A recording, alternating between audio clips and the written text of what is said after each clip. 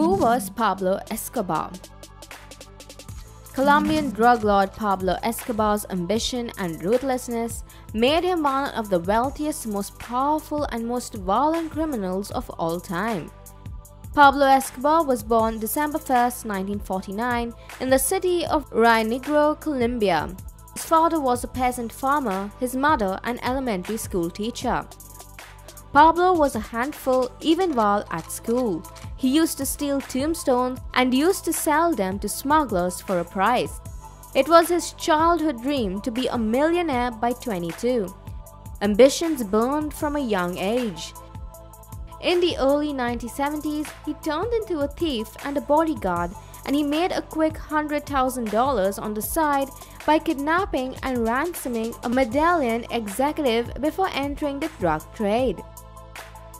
His next step on the ladder was to become a millionaire by working for contraband smuggler Alvaro Prieto. In 1975, Escobar started creating his own cocaine empire. Initially, he personally flew shipments between Colombia and Panama to smuggle into the United States. Later, Escobar had a whole fleet of airplanes and helicopters, including a Learjet. In March 1976, at the age of 27, Escobar married Maria Victoria, who was 15 years old. Together, they have two children, Juan Pablo and Manuela. Escobar created and lived in a luxurious estate called Hacienda Napoles. In the same year, he was arrested by Colombian authorities in possession of drugs. However, he got out by bribing the arresting officers and the case collapsed. This was the beginning of a policy that endured throughout his reign. A paid cop turns a blind eye. Under his leadership, large amounts of coca paste were purchased in Bolivia and Peru, processed and brought to the United States. Escobar partnered with five or six other illegal entrepreneurs from the Medellin area, forming the infamous Medellin cartel. Escobar eventually dominated over 80% of the cocaine shipped to the US. He became one of the 10 richest people on earth. Those he couldn't bribe, he killed. Hundreds, perhaps thousands of police officers were murdered on Escobar's orders simply for doing their job. Escobar may have been a criminal, but he was also a hero to the poor of Medellin. He built many parks, hospitals, schools, churches, sports stadiums, and frequently distributed money to the poor.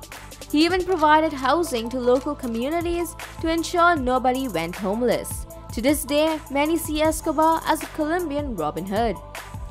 When the origin of his wealth became an issue of public debate, US started pressuring Colombia to extradite him. Using terror, Escobar tried to influence Colombian politics towards a non-extradition clause and to grant amnesty to drug barons in exchange for giving up the drug trade.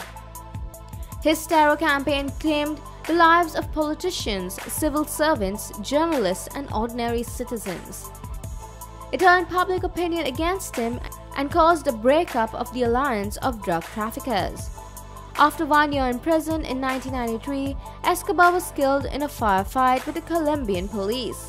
The fatal bullet wound was right above his ear, the exact same place where Escobar told his brother he would shoot himself if he were ever cornered. The truth will always remain unknown. For more bizarre facts, make sure to subscribe to our channel.